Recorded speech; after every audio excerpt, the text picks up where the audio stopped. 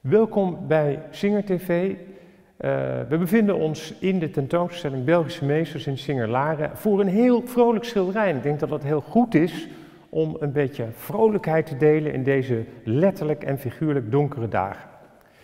We kijken naar een schilderij van Gustaaf de Smet, een van de Vlaamse expressionisten, die zijn gevoel op een vereenvoudigde manier in kleur op het doek met ons deelt. En dit schilderij uit 1926 heet De Zeearend.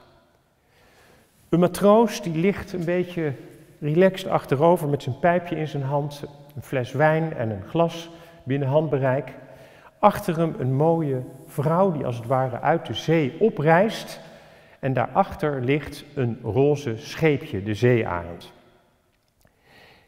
Het is allemaal fel verlicht en zeer kleurrijk, maar als je nou even goed kijkt, dan valt mij op dat er een sterrenhemel is en een maan, dus het is nacht.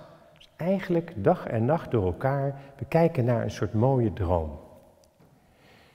En nu weet ik dat Gustaaf de Smet een jaar later een, uh, een dubbel portret maakte. Uh, een portret van hem en zijn echtgenote, uh, dat zich bevindt in het Museum van Schone Kunsten in Gent. En dat maakte hij in de kunstenaarskolonie Sint Martens-Laten buiten Gent waar hij op een beetje vereenvoudigde, cubistische manieren elementen van het landschap en het huis, een vrouw en hemzelf heeft gemixt in een mooi beeld. Dat ziet u nu.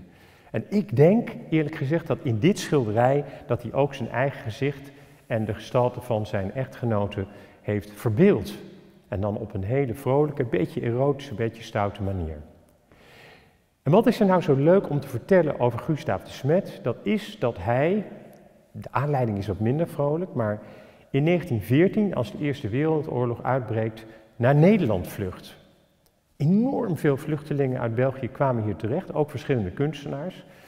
En via vooral Leo Gestel, de Nederlandse modernist, die hij in Amsterdam ontmoet, komt hij in Laren terecht en gaat in de Raadhuisstraat in Blarikum wonen. Samen met zijn Belgische schilderende vriend Frits van den Bergen, die hier ook een zinger te zien is nu in de tentoonstelling Belgische Meesters. Hij blijft jarenlang uh, de Smet in Laren en Blarikum. En hij maakt daar een van zijn eerste expressionistische schilderijen. Een, uh, een nachtelijk gezicht op de Koesweert in het centrum van Laren, dat we allemaal goed kennen. Een van de meesterwerken van het uh, museum hier in Van Singer Laren. Een beetje een donker schilderij, maar een heel krachtig en een heel expressief schilderij dat hij maakte in die periode van donkerte, uh, terwijl zijn, zijn land, zijn vaderland in vuur en vlam stond. Goed, na de oorlog keert hij terug naar België en in de jaren twintig maakt hij veel vrolijke schilderijen, waaronder dit werk, de Zeearend. En ehm, als je ziet dat daar een Nederlands vlaggetje op die prachtige roze boot geschilderd is, dan kun je je voorstellen dat hij eigenlijk met een heel goed gevoel terugdenkt aan Nederland. En nou nog een heel leuk verhaal tot slot, en dat is dat in 1925 Leo Gestel nadat hij het een beetje heeft verbruikt in Nederland. Hij heeft een relatie gekregen met de dochter van zijn mecenas, zus Boendermaker. En zowel zijn mecenas, Boendermaker, die al zijn schilderijen kocht, wil hem niet meer zien. En zijn vrouw, Anne Overtoom, wil hem ook niet meer zien. Nou, hij raakt in een depressie, Leo Gestel, gaat naar België. En wat gebeurt er? Hij wordt in België opgevangen door niemand minder dan Gustav de Smet, die hem zegt: U heeft mij geholpen in de oorlog en nu help ik u.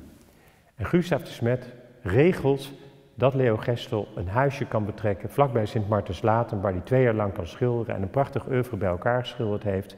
Terwijl de Smet hier aan een van de Belgische havens een prachtig droombeeld maakt van zichzelf en zijn vrouw tegen de achtergrond van een Nederlands scheepje.